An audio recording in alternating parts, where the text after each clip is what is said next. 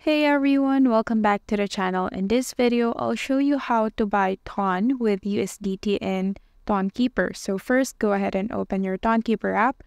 And in the mm-hmm. dashboard, go ahead and click swap. Wait for it to load.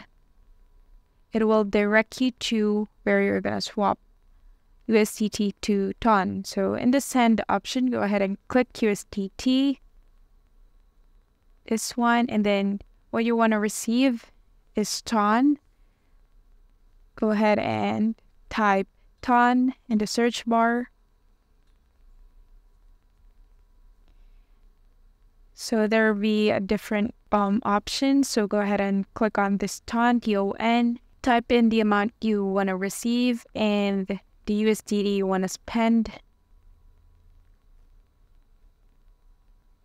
So for one ton, we're gonna have to spend five dollars or five USDT. In this button, it'll appear confirm, but as for me, I don't have any balance, so it's insufficient. That's just it. It will appear confirm and then bring me to the transaction and confirmation.